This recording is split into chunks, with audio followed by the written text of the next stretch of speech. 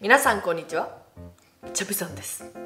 今日はメイク動画とか撮っちゃうぜ。この間さメイク動画上げたんやけど最近な大会に向けて日サロ通い出したんよ。体がさ結構黒くて。こんな感じ。えちょっと絞れたやろ。黒いねんけど顔は焼いてないからさこの顔と色が違うやんか。でファンデーションの色をちょっと濃くして暗くしたんよ。でそのことによって肌の色が黒いからアイシャドウの色とかリップの色とかがなんかちょっと浮いてくるようになってさメイクさまよい期に入ったんよね私。でインスタであのリールでもうもう真正面と目閉じてあげてこう斜めっていうなんかマジで正面写真みたいなリールをアップしてどないかあの私のあの合うメイクをアドバイスくださいみたいな感じで投稿したらめっちゃさたくさんの方がコメントくれてな。129件もコメント来てこうやってしたらいいと思うよとかか私のアパレルのバージョンオブユーの撮影の部屋目に入ってくださった方もアドバイスくれてそのアドバイスをもとにメイクしたらなんかみんな「えなんかすごいいいね」ってコメントしてくださったのでその、まあ、みんなのアドバイスをもとにしたメイク動画を撮っていこうと思います。ちなみに今すっぴんで何もしてなくって。今日はちょっと夜か夕方かに髪の毛染めに行くのとネイルも新しくしにリプティモイラに行くので今日はちょっとおめかししていきたいと思います。ほんでまたあの私埋没したっていう話をちょっと前の動画で言ったんですけど埋没後初のメイク動画になると思うのでちょっとね変わったところもお見せしつつ最近どうっていう話をしていきたいと思います。ということで最近どう？はいまず一発目に唇を保湿します。私は唇がカッサカサの女です。これね視聴者さんがさ私のお誕生日のオフ会の時にプレゼントしてくれてんけどジョンマスターオーガニックっていうあのオーガニックのヘアとかが多分ブラシとかがなんか人気のところやねんけどそれのリップバームで見てこれカスタムしてさバージョンビューチャピってここに印字してくれてさ超可愛い上にめっちゃ保湿されるからこれをメイクする前に先に保湿する。結構塗りたくっちゃマジでさ唇カサカサ女なんよ私。あの皮膚科の薬とか塗ったりすんねんけどなんかちょっと強すぎるから薬やからさなんか塗れる回数制限あるしさ。寝る前と朝だけ塗ってそれ以外はこういうちょっと濃密系の保湿リップを塗ってます。最近暑なってきてさ汗かくようになったやんか。ほんで私今減量中やから有酸素とか外歩いたりするくて汗かくんやけどそんな汗をかく私でも、ま取れにくいメイクっていうのも日々研究してるのでそのファンデの私のコツとかもちょっとお話できたらなと思います。最近は出かける時カラコンしてるけどする時は、えっと、ハパクリスティンっていうところのカラコン。結構何でも好き。縁がないやつ選ぶんやけど今日はそんな気持ちじゃないからやっていきます。でな私のあちょっと待って。はい始めるわ。ちょっと。喋りすぎて始まらんという事態があるのでまずこれはずっと変わらない下地はメイクアップフォーエバーのステップ1プライマーポアミニマイザーって言ってポアっていうのが毛穴っていう意味でミニマイザーはちっちゃくするっていうので毛穴を埋めてくれるようなメイクアップベース。これはねずっと変わりなく一番最初に引っ込みます。えさここの鼻とここにかけての毛穴が気になるのよね。今あのなんもあの美肌加工みたいなしてないんやけどここはなんかつぶつぶあるやろ。それがこうなんかなくなんねんすごいよなメイクって。これを毛穴に塗り込むって感じ。で鼻の上とここ。とあこ唇にまだもう色塗ってないんやけどさ唇荒れてんのよ。ほんまにいつも荒れてるから。だからちょっとあの色があるだけで今何も塗ってない。ほんでな肌を黒くしたっていう話やんか。でこれしゃしゃべりながら説明ってどうやってやるの？ちょっと待って。次次あの下地。最近はこのナチュラグラッセのメイクアップクリームシャンパンベージュ。SPF44 の PA が3プラスでまあ SPF 弱いけどこれなんかちょっとだいぶ前に買って結構ツヤ感とかなんかヘルシー感が出るからあの最近使い出しました。ちょっと色ついてるけど馴染んだら全然大丈夫。でなその最近この肌の色を黒くすることによってめっちゃギャル味が増したのよ。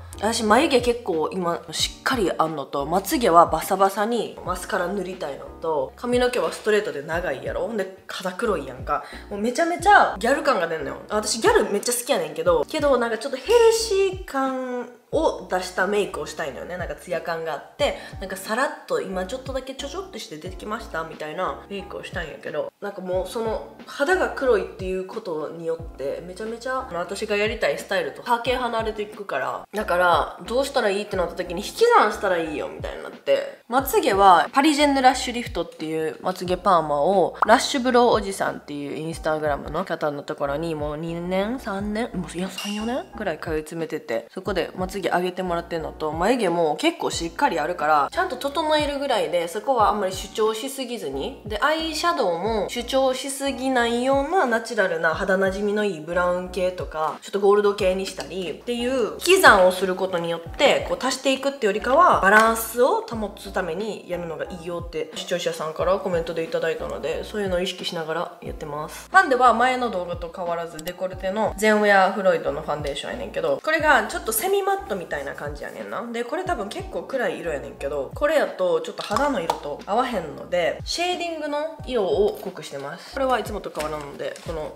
濃密系のブラシで地肌よりも結構暗い。けどここの色と比べたらまだ全然明るいなって感じ。このファンでね厚塗り感ないねんけど肌を統一させてくれるのとセミマットやねん。マットすぎるとちょっと乾燥したり私結構な乾燥肌やから乾燥してきたりここら辺割れてきたりすんねんけどセミマットやからそこまでカピカピせえへんけどやっぱマットの方がにじみにくいらしいねんって。リップもそうやん。マットリップの方が結構残ってたりするから私的にこのファンデがちょうどいい、ね、カラー展開もネット見たら結構あるし。こういういうね濃密系のブラシでこうなじませる。こうふわふわってなじませんねんな。地肌の色とファンデの色が合ってないからこそこうやってあののせるっていうよりかはこうくるくるなじませる方が大事っていうのを地肌の色とファンデの色が違う歴12年？1年ぐらいかまだ。ファンデ塗り出して。で思ったからこういうの使うのおすすめ。でここの耳までなじませる。はいできましたら次チャコットっていうやつのこの暗いやつやつばっかり。チャコットっていうのはもともとはバレリーナさんとか舞台メイクのの結構コテコテのメイクラインって言ったらいいかな。舞台メイク用やからこういう濃い色とかは結構売ってるねんけど前までちょんって言ってたんけどそれを結構入れちゃう。でここの額の上にのせてちょっとここら辺にも。で私結構おでこ狭いタイプやからさおでこは塗らずにやっていきます。これを外に外に外に外に外に外に。そう肌をな黒くすることによってさ今までさピンク系のさアイシャドウとかリップとかチークとか使っててんけどそれがな2ワンクだってん。なんかめっちゃくすむようになってん。私は結局イエベなんブルベなんって感じやねんけどその肌が白い時はピンク系の冷たい色が似合うからブルベなんかなと思いきや肌がちょっと焼けてる時はオレンジ系コーラル系が似合うからイエベなんかなみたいな。ちょっと分かりませんっていう感じやねんけどそれの診断をなしたら多分分かりやすいと思うねんけどまあやりたいメイクをやるっていうのも大事ですよね。第1弾。やってんけど。もうちょっと黒い方がいいかな。塩梅見ながら足していく。なんか今海外のトレンドで Clean Girl Makeup Tutorial みたいなのがあるんだよね。Clean Girl っていうヘイリー・ビーバーちゃんとかなんかメイクしてないけどなんかツヤ感があってヘルシーな女子みたいな。ナチュラルメイクとはまた違うねなんか毎朝瞑想してます。スムージー飲んでます。ヨガしてます。みたいななんかご本人様が発光してるメイクみたいなのが今なんかそういうの流行っててそれを Clean Girl っていうなんか名所があんねん。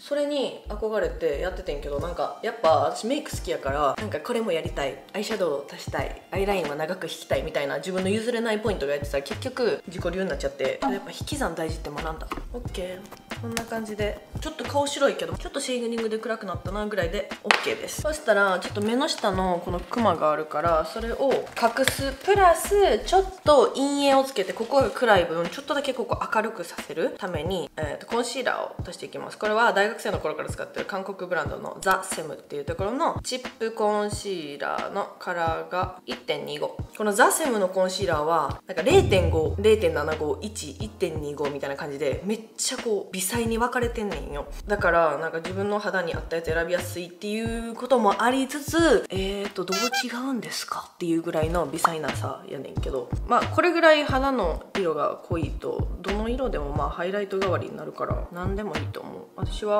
これぐらいかなみたいなやつをいつも適当に選んでる。待って目やについてて。恥ずかしい。やる前に目やに取ろうなみんな。洗顔したのにさここの食い込みの時に絶対おねあんまり汚いって。ここの目の下をちょっとだけ明るくするかつクマを隠すぐらいのイメージで。で鼻の周りやんねんけど私さ鼻炎とかふんとさ黄砂と全部アレルギーやからさ結局鼻出るから鼻かんだりすると取れちゃうのよねだからもうあんまり気にしてません。でこの指でなじませる。こういう濃密系のブラシでこうポンポンポンってするとあの少ない分量で積み重ねることができない重ね塗りしてコテコテ感なくなんかナチュラルに隠せんねんけどやっぱりこう手の体温でこう溶かしてなじませる？溶かしてなじませる？大事なことやから2回言うで言うてな。体温でこう押し込むともっと馴染みがいい。ブラシの残ってる感じとか私大嫌いなんよ。できるだけ馴染ませたいからこんな感じ。で次に大事なステップがあります。ちょっと待ってな。このステップが汗で捉えさせないために私は最も大事やと思っている。でこれは以前に言ったことあんねんけど改めましてお伝えします。準備するものがメイクのセットスプレーと濡れたスポンジ。この2つを仕込むね。これなメイクのセットスプレーやから最後にやるもんっていう印象あるかもしれないんですけどこれを仕込んじゃう。今まあこんな感じ。結構馴染んだよね。でこのセットスプレーをまず顔面にぶちかける。ここの生え際特に。でまだ濡れてる段階で濡らしたこのスポンジを使って押し込む乾く前に押し込んでほしいからこうなるはずで。セットスプレーを最後にもすんねんけど最初にここでかましといて押し込むことによってこのファンデと密着してくれんのよ。で密着してまだ乾いてない状態でフィニッシュパウダー。これがずっと使ってるメイクアップフォーエバーのウルトラ HD のフェイスパウダーやねんけどこれがね半透明のやつで白いのでこれを取ってさささささっとなじませる。で特にこの鼻の横と目の横私サングラスかけるからさここ重点的にのせて目の下もちょっとアイラインがにじみやすいから。さささって塗ったらマジで取れにくくなる。こんな感じで。まあさっきのツヤ感は正直言ってなくなんねんけども私は汗かいてにじむ方が嫌なのでしっかりセットします。でちょっとだけスポンジで押し込んで押し込む押し込むなじませるなじませるっていうのを結構大事にしてるかもでこれが完全に乾ききるまでとりあえずお肌は触らない。でこの顔が乾く間にメイクのお直しの時に持ち歩いてるもんやねんけどこれがメイクアップフォーエバーの HD スキンマットベルベットコンパクトファンデーションのカラーが 2N26 ってやつやねんけどこれが最も店舗に置いてる暗い色やねんな。でこのパフがついててめっちゃ汚いから見せないんですけれども。やっぱファンデが黒い分鼻かんだりするとここら辺だけ白くなんねやんか。それが嫌やからちょっと黒いファンデを持ち歩いてます。こんな感じで今はマジお肌の調子良すぎ。いいけどちょっとここら辺プツプツできてるのはねちょっと嫌なんだけどね。そしたらちょっとまだ顔白いなって感じなんでシェーディングで色をつけていきます。これもずっと使ってる韓国ブランドの too cool for school のクラシックっていう方の色のシェーディングが底見えコスメって言わせていただくんですけどもこんな感じでねもう超大愛用なのでファンデの色変えんくてもこうシェーディングとかこういうカラーでもう結構濃く見せれる。適当にバーッと取ってさっき入れたシェーディングの上に足していく。私こうシュッとなってる印象が好きなんでこうやって入れてここの目のくぼみのところにも入れる。けど本当により綺麗やね。どういう顔に見せたいかとか可愛い顔に見せたい人はまた違うやり方があるやろうし私はこうリフトアップされたやつがやりたいのでそうやりますほんでからそのまま鼻のシェーディングやんねんけど私ま自分でも言わせていただくんですけどちょっと鼻が高いんですわ。これね完全な遺伝おばあちゃまもお母さんももうこんな私よりもすんごい倍の話しててちょっとねここからの印象が強いのよここここが。ここが強いんやけどここのくぼみがちょっと少ない感じ。あの外国人の方みたいなここのくぼみが欲しいのでここはシェーディングせずにここだけやってる。同じこのトゥークールフォースクールのシェーディングを使って濃い色でまずまぶたをこうシャシャシャーって入れてから前までは私こう鼻からここにつなげてたんやけど私がくぼみ入れたいのってここやなってなったんでこの眉毛のこの下の部分からここまで。ここまでするとちょっとあの外国人みたいなちょっとくぼみができるっていうのをちょっと学んだのでなじませるために一旦アイホールに入れて眉毛のこの部分三角からこのここのくぼみまで。するとちょっとなんか彫り深くなった気せえへん。メイクはなそんな気がする。っていうぐらいでいいねん。全部足してからこっからってさ顔なんかさマジでミリ単位の世界やんか。まあボディービルもさ体作りもそうやけどさちょっと位置が違うだけで見え方が違うし整形とかもさちょっと1ミリ二重の幅が違うだけでめっちゃ印象変わったりちょっとここのお肉がなくなっただけでもすっきりするやんか。マジでね細かいねんけどめんどくさいねんけどミリ単位で計算してやった方がいいなってつくづく思います。はい。ほんだらちょっと鼻をシュッシュッシュってやって。ちょっと待って。やだもう鼻水が出てきちゃった。鼻を噛んでファンで取りたくない時はこうティッシュをくるくるどんどん奥に入れていく。でこう取るとすっきりする。ほら。うん。OK せっかくな鼻もやったからさ綺麗に残しときたいよね。でちょっと丸く鼻するためにこの上にもシェーディング入れて丸丸丸っていう感じ。そしたらこうプンとこう上がったような韓国で流行りの花になる。でアイシャドウを前までピンクパレット使っててんけど最近はちょっとオレンジブラウン系ということでこれねルナソルっていうところのこれ視聴者さんからもらった汚い視聴者さんからお誕生日にいただいたパレットやねんけどこれが結構大優勝でちょっとオレンジ味のかかった色をベースに使いつつアイラインを今までアイライナーを使ってたのをこういうちょっと紫の締め色みたいなのを使ってアイライン代わりに引いて優しい印象にしていく。で結構この強めのラメをペペピってのせるっていうのがすごくおしゃれに見えるっていうのをコメントで教えていただいたのでアイシャドウ自体は薄いけどラメでちょっとちらつかせていくっていうやり方をやらせていただきます。ルナソルのアイカラーレーション16番マンダリンガーネットっていうアイシャドウのパレットを使って一旦ねさっきのシェーディングの色であの全体的になじませたんでこのオレンジカラーをちょんちょんちょんちょんって取ってちょっとずつ重ねていく。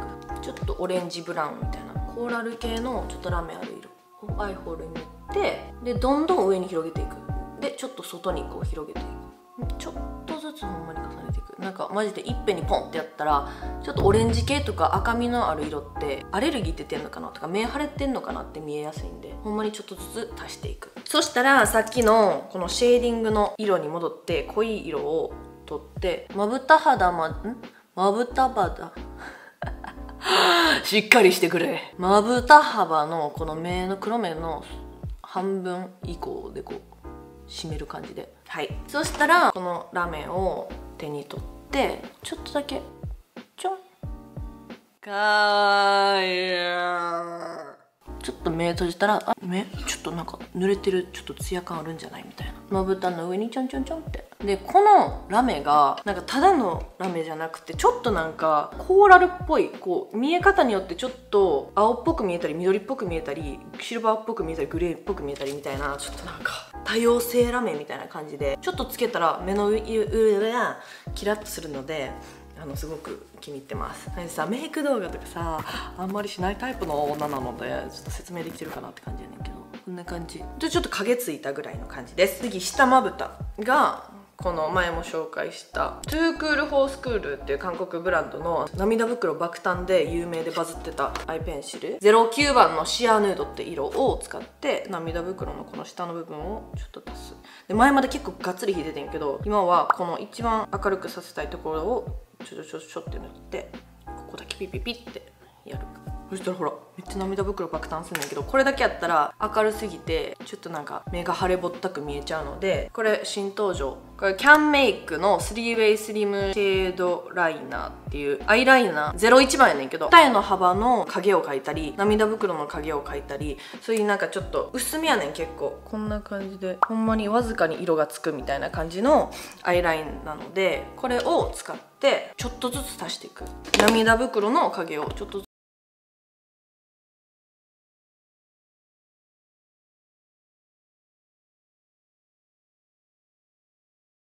これを急ぎ目にぼかす。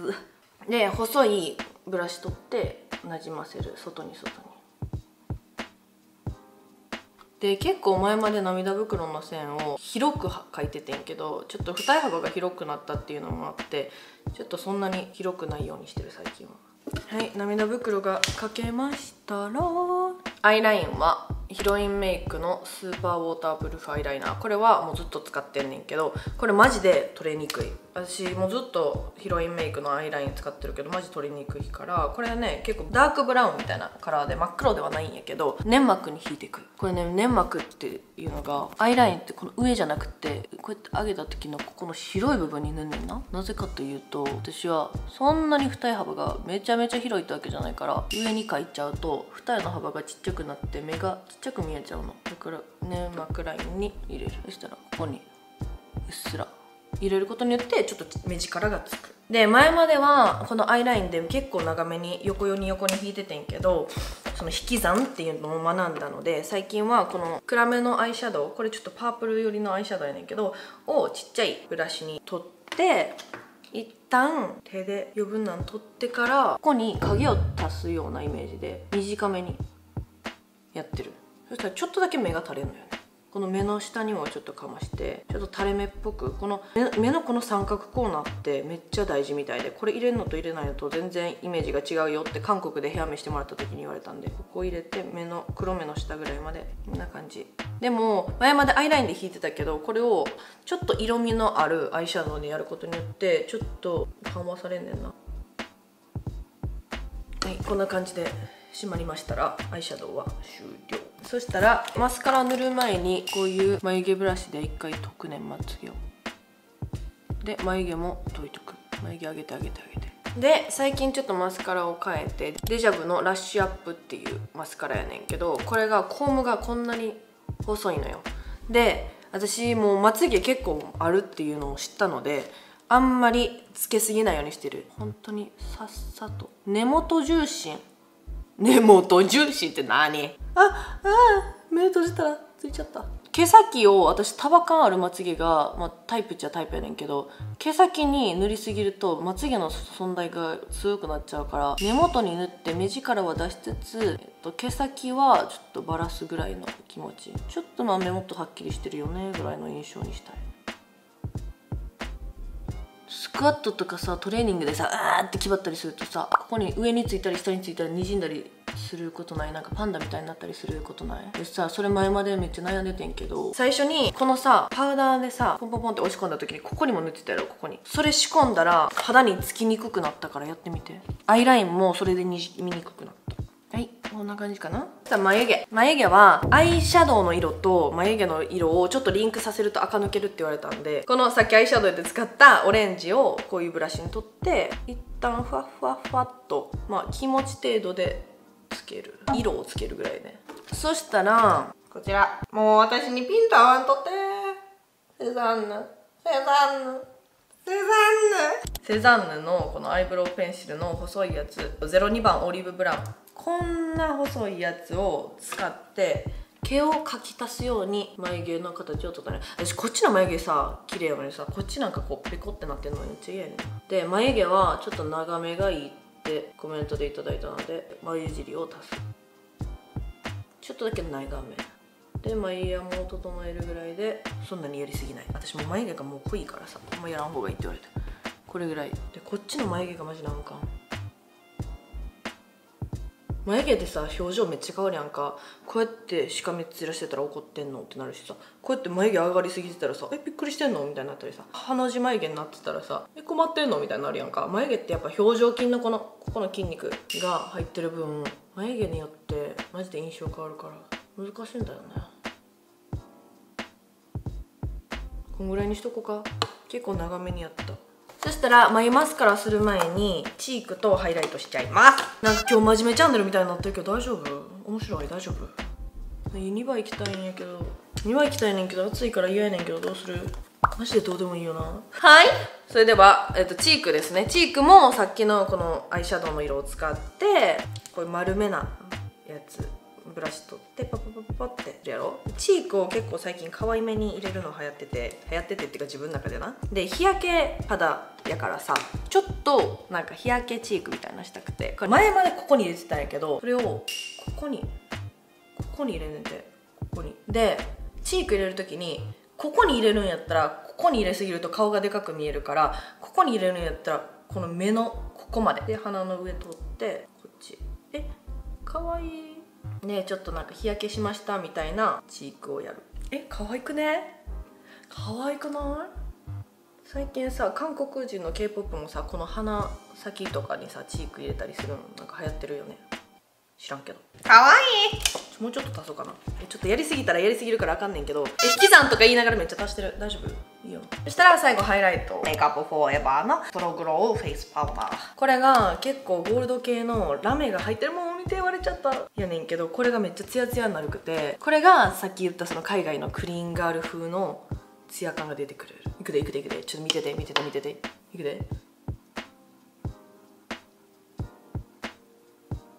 やばい。わかるこのツヤ。直で見たら結構ラメっぽいんやけどこうやってつけて外でいるとこのラメがないろんな光を反射してくれるからめっちゃツヤっぽく見えんねん。こっちとこっちとで。全然違うくない？かわいい。で視聴者さんに教えてもらったんは唇の上にハイライトをのせたらぷくっという印象になって可愛いよってここ。結構ちゃんと目に入れる。で私はこの鼻先に結構ゴリゴリ塗りたい。グリグリ塗りたい。もう鼻鼻がもう光ってトナカイではないかっていうくらい塗る。でここに一発入れちゃったら私も鼻の主張がやばすぎるんでこの頂点だけだからびっくりマークみたいなちょんちょんみたいな。で目の横のここに入れることによってめっちゃツヤ肌感が出る。人と喋る時ってさこれな最近私さマジ恋愛したすぎてさあの恋愛心理学みたいなちょっと勉強してんねんけどさ人と喋る時って口見ないやん。目見て話すやんか。だからここの印象があの良ければ全体的な印象が良くなるみたいで。だからここら辺にちょっとニキビできてるとかちょっとなんか二重顎気になるとか他になんか隠したいところがあったらここに集中を持っていかせるように。だからラメとかこうハイライトとかも全面いくっていうよりかはここら辺だけとか。でここのツヤ感があったらすごい肌って綺麗に見えるのよ。これはあのチャピ哲学。はーい。そしたらアイブロウマスカラがこれ MAC のアイブロウビッグブーストファイバーファイバージェルブラネットのごめん色が分からへん。書いてない。これあの私アイブロウマスカラのちょっと業界分からんくてあのお店行ってお姉さんに合わせてもらいました。ちょっと肌の色よりもワントーンアップぐらいがいいらしい。毛並みを整えるぐらい。前まで私黒いブラウジェルとかクリアジェルとかやっててんけどやっぱちょっと色入れるだけで垢抜けるなって思ったこんな感じ。ちょっと薄くなったかね。でちょっと最近私がやってるちょっと恥ずかしいねんけどちょっと技があってそれがほくろを濃くする。私結構顔にほくろあんのよ。こことかこことかここここ。この4つのポイントをちょっとだけ強調させるぐらい。強調させたらなんかねなんかちょっとセクシーなんだよね。ねこのさっき使ったキャンメイクのやつで本当にちょっとだけ足すぐらい。これもやこれ。ねこのねキャンメイクのやつ優秀。ちょっとピンクっぽい色選んでんな私、うん、ほらなんかちょっとセクシーな。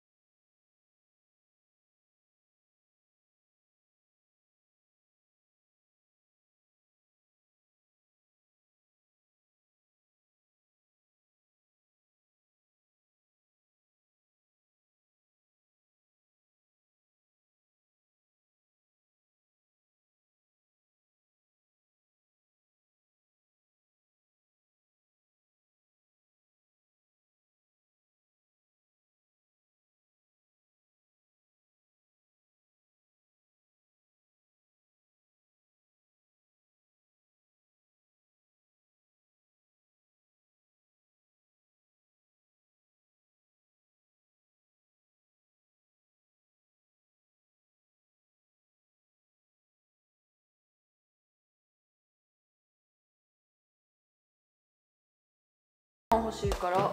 グロスっていうか保湿しとこう。カサカサやし。でグロスも全部の唇に塗るっていうよりかはこの上の部分とこの下の中央部分に塗るのがいいらしい。いいんじゃない？なんかこれやばいかこの髪型。ちょっとなんか変な気してきた。はいという感じで完成です。ツヤツヤでコーラル系にしました。視聴者さんからアドバイスもらってやったメイク。こんな感じ。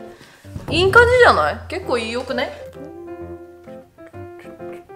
最近はさスキンケアもちょっとこだわってるからさできるだけファンでも厚手にならないように。してます。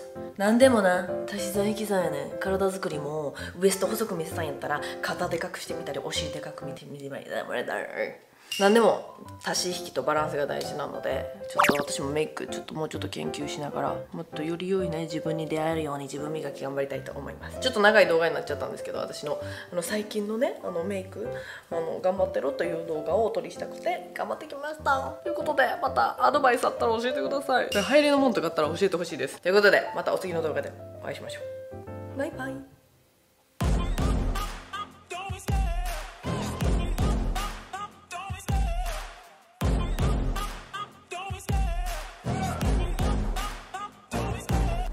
the chase and the hunt and I set the pace when I'm running. I always take what I want and I always give it 100 Don't need a bank, no I'm funded. Play the game like it's nothing. I'm always thankful for something. Don't take for granted, stay humble. Now wake up!